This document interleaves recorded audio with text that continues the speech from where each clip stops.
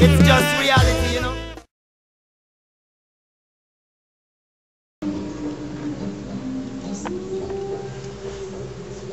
I'm to finish, I'm to start back from last week with uh, Moses.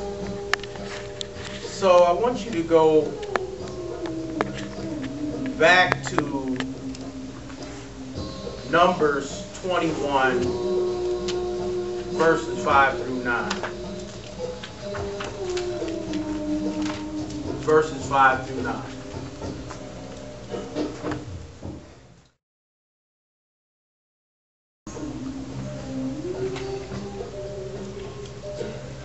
And the people spake against God and against Moses.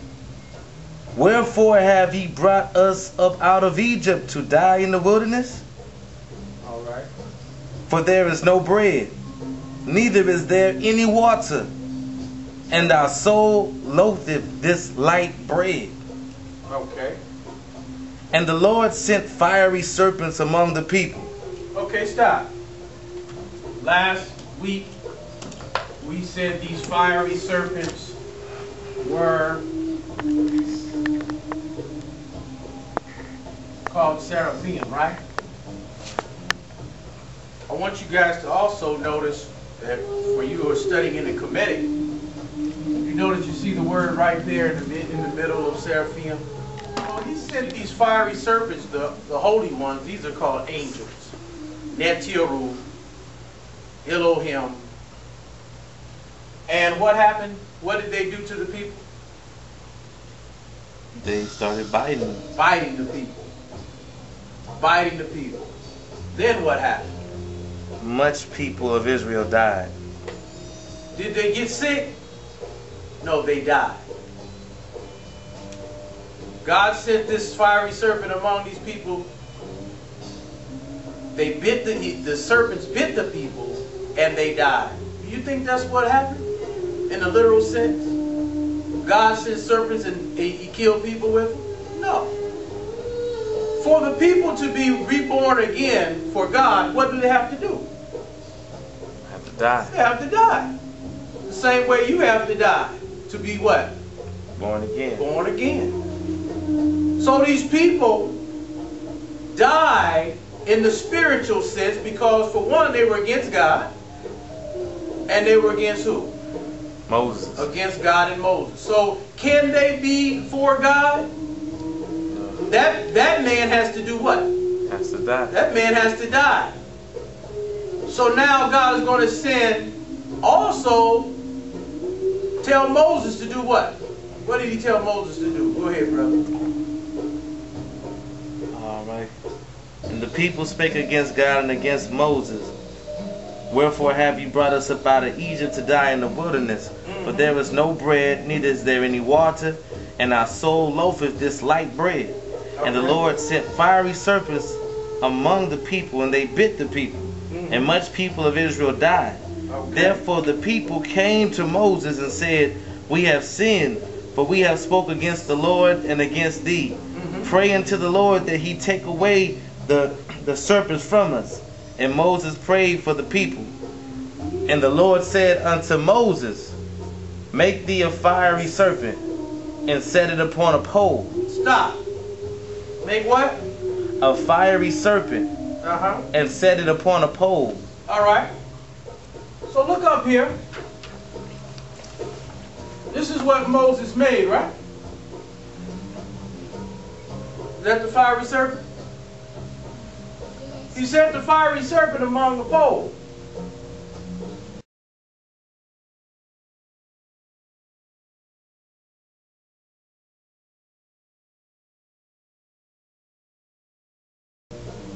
Is also the medical symbol, right? Actually, this is what it looked like. But after it was adopted later on through the Greeks, after they took the story, converted the story, the story looked like, the, the symbol looked like this.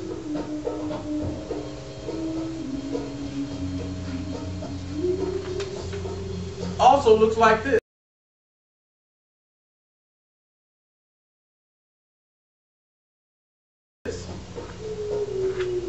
This is also a story in other people's culture. And this is not what you think it is. It's talking about something that's dealing with the human body.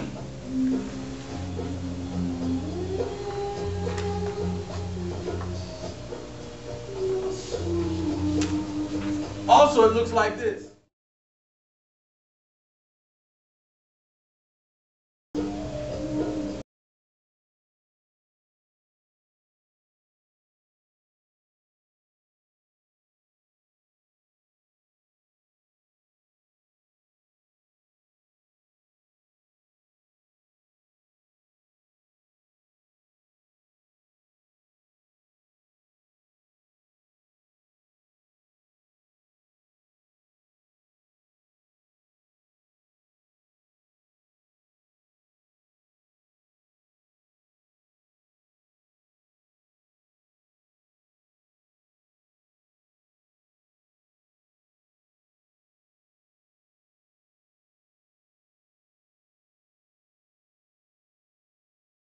Of these one, two, three, four, five, six wings.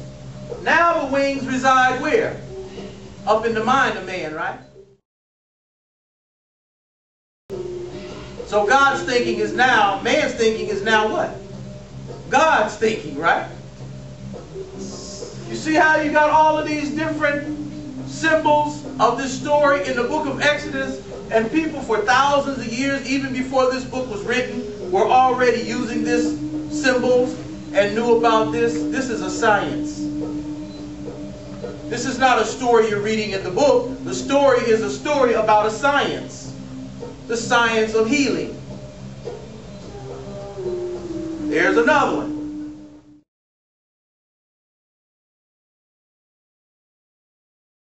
Showing the six wings of the serpent going up, and the man has the crown. Now, when I came across this one, this is also the same story. Everybody got it? You say, well, Brother Faheem, how is this the same story? Here's the crown. This is the comic book character that your children play with. The wings and here's the crown. Here's one, two, three, four, five, six. These are the six chakras that make Thor up. One, two, three, four, five, six.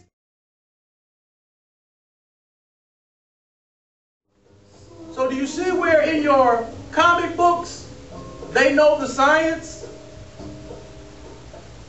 And your child is watching this show, and the show is full of science. One, two, three, four, five, six. These are the six wings of the angels. This is, this is the crown.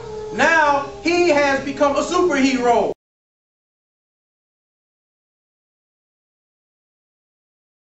All your superheroes is talking about them coming up above human and becoming superhuman. So Thor represents that crown with the wings, saying that he's one of the sons of God, one of the angels. One, two, three, four, five, six. It's the same thing. So God told Moses to put a serpent on a pole. That serpent on a pole represents this.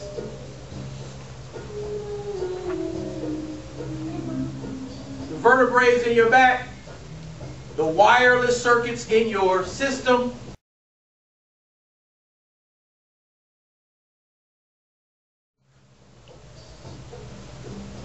And now, this system can either heal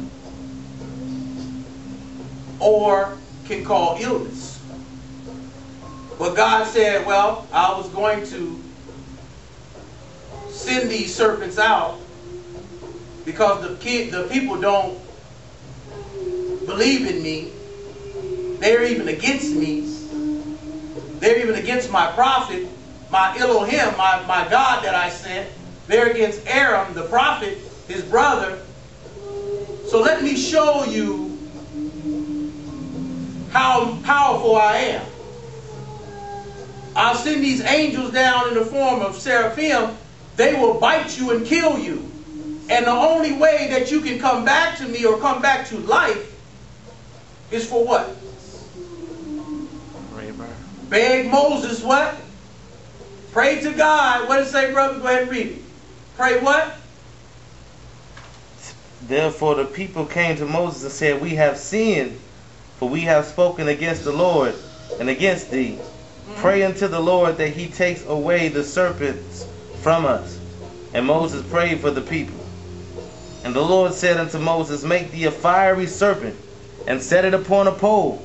And it shall come to pass that everyone that is bitten, when he looketh upon it, shall live. They shall live. And Moses made a serpent of brass, and put it upon a pole. And it came to pass that if a serpent had bitten any man, when he beheld the serpent of brass, he lived. And the children of Israel set forward and pitch in Oboth. Okay. Now, does everybody understand what this is talking about now? Do you see that this symbol is an ancient symbol? And while people are trying to divide you into different religions, don't you see that this symbol can be taught in any religion? Don't you realize that your doctors are wearing this symbol? That Moses put the serpent on a pole?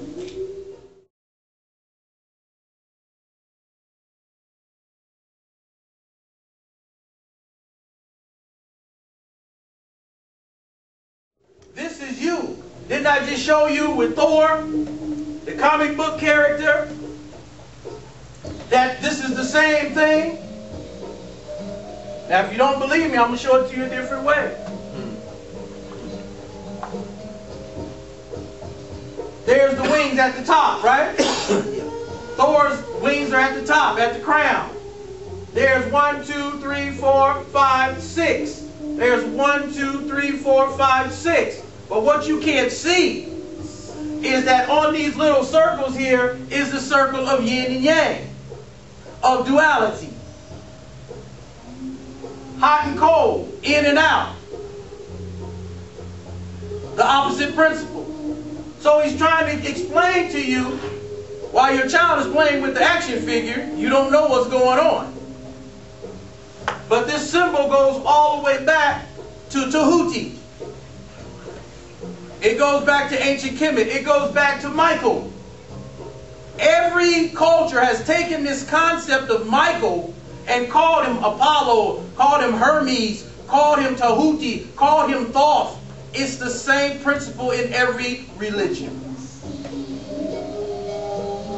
And the one who sends this information down is that angel, that seraphim that comes down upon man. Now, go to the book of Isaiah 6 and 1 through 7. Let's go over that one more time before I move.